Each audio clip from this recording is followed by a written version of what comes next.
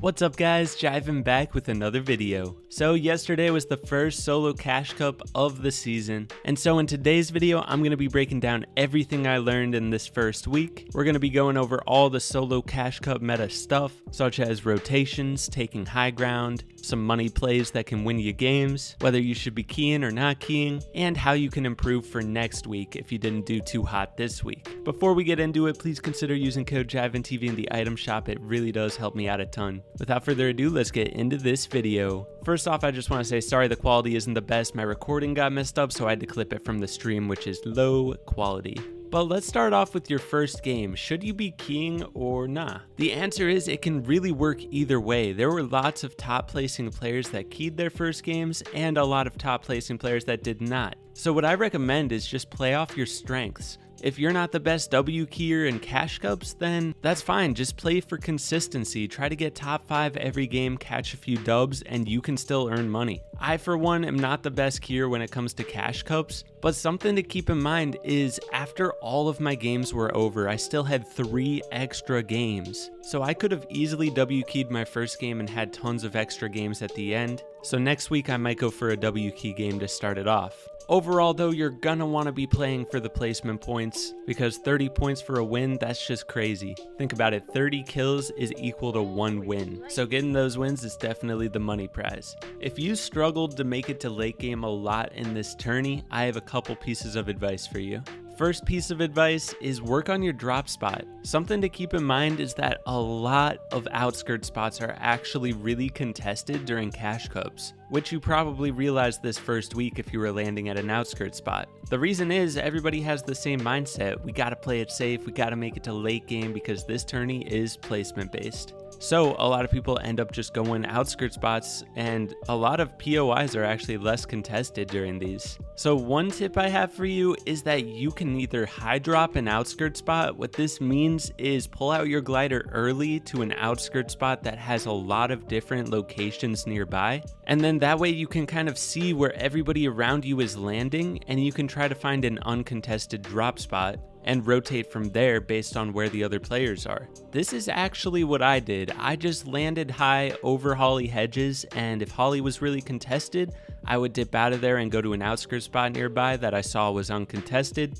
But when I saw Holly contested by only one person, I would land on the opposite side of that player. He say he lands on the north side of Holly, I'll land on the south side, and I would split Holly with that other player and then dip out of there before I have to fight them. Because my goal was to rotate early, avoid fights, and set myself up for late game every single game, and it worked. The reason I didn't place too hot in this tourney was simply because I hadn't played any end games in a while, I haven't scrimmed at all this season, but I made it to endgame every single game, so if I could just touch up my late game a little bit, I could have been in the cash. I must have cost myself around 50 late game points just by making stupid mistakes that could have easily been avoided. So yeah, that strategy helped me get to late game very often. I must have only had a few mid game fights, like maybe two or three throughout the entire tourney, except in my W key game because I was just pushing people.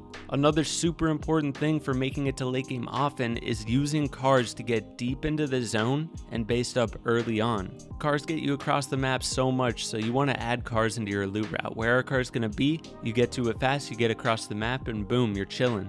Another really important thing is being able to predict zones. If you can get a general idea of where a zone is going to pull, get there before even first zone closes, and then you just chill there and keep pulling zone over and over, you'll be big chillin'. The general way I predict zones is if I see it pull really far in one direction, usually it's going to pull in that direction again. So I base myself up, say the zone pulls far to the north, I'll base up on the northern side of the map. And almost all of these games I pulled first, second, third, and fourth zone simply by using this prediction method. Also, if the zone pulls straight to the center of the map, then usually it's going to pull to the center again. That's kind of how zones work in Fortnite. It's not a perfect math, but you can pull zones like, I don't know, five times out of six if you do this method. And if you have a car next to you and zone doesn't pull to you, you just hop back in your car and get to the center of the second zone. You know what I mean? So that's how I made it to late game pretty much every single game, just by rotating early, predicting zone rotates, and planning my next rotate ahead of time. For example, in my third game here, notice how I was based up on the edge of zone. I stayed in this box for two whole zones, even though zone pulled far, I didn't rotate immediately, I was waiting to hit this launch pad and fly to the center of the next zone. I had planned this rotate out ahead of time, there were a lot of players around me so I was being patient with it, I was waiting until I saw a free opportunity to hit it, and then I had a perfect rotate to the center of the zone. And then sure enough I pulled the next like three zones straight to me. So let's take a look at this game because this was the one game that I won. I played this one out really smart, so let's break it down. And then we're to get into some ways that you can learn from your own Cash Cup experience to improve next week. So in the first moving zone here, I was just staying ahead. I knew I had a launch pad, but zone pulled in a pretty safe direction for me to rotate by foot, so I did that and saved my launch pad for later. I took a little storm damage getting perfect positioning here, and then somebody actually pushed me from above, and there was no reason for me to take that fight because I still had a launch pad and decent mats, so I just rotated away from that guy. Next zone pulled far away from me and I still had this launch pad so I just decided to look for a safe place to launch. I made sure to check my top before using it, saw it was free and hit it. So at this point I'm on front edge of zone in a good place to look for a refresh. I go for a play from above on this guy but it didn't really work out. Lucky for me, I saw some loot next to me. When going for loot in late game like this, you want to make sure you block your angles while trying to get it, so I just got what I could, and then I just immediately continued my rotate in, blocking my back, while also conserving mats. Doing this floor ramp method is really good if you can get to the front edge of zone and just do floors and ramps, that can save you a lot of builds. And then again, we look for a quick refresh once we get into the zone. Because once you get down to like 300, 200 mats, something like that, you want to be looking for a refresh right away. This was the one mistake of the whole tournament. I wasn't paying attention enough to my mats. This is most likely because I haven't run any scrims all season, but next week, every single late game, I'm just going to be reminding myself to check my mats like crazy. Lucky for me though, I played this really well with no mats. I broke into a safe part of this guy's tarp here on the left and just played sneaky on the back edge of zone. I had a chug cannon so I could take some storm damage and I was able to just jump this guy and I had that tack. That tack is nasty in late game, man. I gotta get moving right after I get that kill, so I just healed up with the chug and then swapped mine for his and got a move on. While I was ramping up here, it was a little bit sketchy. I maybe should have gone to the right another box, but I got in a 50-50 with this guy and I had the tack, so I was able to win that even though I whiffed so many shots. That's one of my biggest issues, bro. When I'm in late game, my shots get so flicky. I just gotta keep my cool. If you're the same way, we just gotta get better at breathing in late game, man. It's all about keeping composure and maintaining that adrenaline, basically. Anyways, I was able to rotate around all these builds, get to the front edge of zone with so many mats, and I had five launch pads. If you have a launch pad this late in game, you have good mats, you need to launch to height. And that's what I did here. I looked straight up, made sure there was nothing blocking me, and then I was able to take high ground from these guys. I played confidently because I knew I had a lot of mats. And once I got high ground, it was basically a GG's, man. High ground is so OP in solos because everybody else is shambles on low ground fighting it out. But if you're on high ground, you're just straight chilling while everybody else is in the chaos. Main thing is, if you're on high ground in late game like this, don't drop down. I dropped down for a second, but then I was like, what am I doing? I'm going to go back up. Six points for a dub. I don't even care about the kill, bro. And so he just ended up dying in Storm. Free W for me. Let's go, baby. So yeah, that was my best game of the tourney, but now we're going to talk about how you can improve for next week.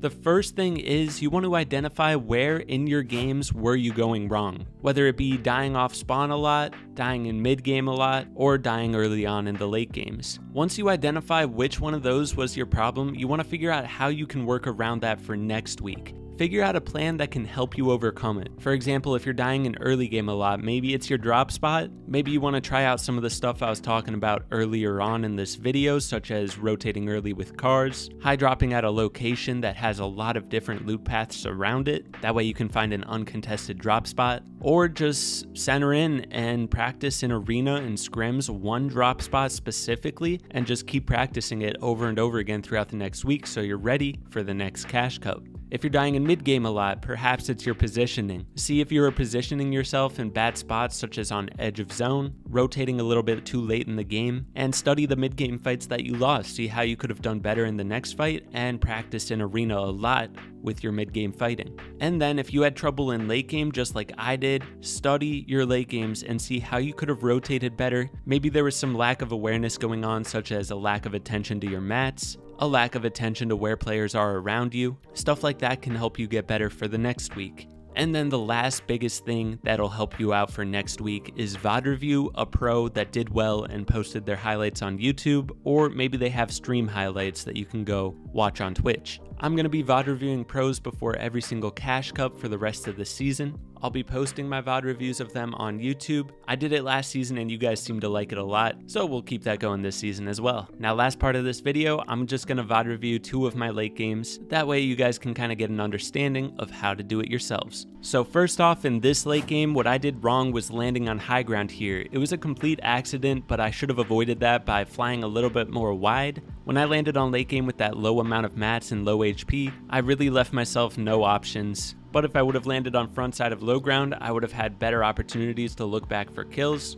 get refreshes, and maybe even pop the med kit. So in this next late game, this is where my tournament kind of took a downfall. I was in such a great position to win this game. I had max mats going into the first moving zone on front side but I left myself on a terrible lair. I was all the way on front side, we were going right towards the building. I should have simply gone over top of the building. My first instinct was to run right into it and go through it. I thought that'd be the safest option, but there were so many players around me that I never had a chance to break into the building and then I got trapped. If I went to my left, right, above, below, there were players on all sides of me. So I could have simply avoided this by going up a few layers to start this rotate. There was no reason for me not to because I had so many mats. So yeah, I should have planned that rotate a little bit better when I saw we were going right into a building. I should have gone up because I was on front side of zone. So yeah, that's the general idea. You know, you want to find big mistakes that you made that could have made a difference in your late games. And then for early and mid game, it's just the stuff I talked about before. Hopefully this video helps you get on the right track for your Cash Cup next week, gives you some confidence going into it. Just gotta remember that these Cash Cups are all for fun, all for improvement. The reason I play them is not to make money, it's just to improve my game and get me ready for potential solo FNCS next year, or maybe even World Cup. But hopefully this video helped you out. If you enjoyed it, be sure to hit that like button, subscribe if you're new, use code JivanTV, and I'll see you in the next one. Peace.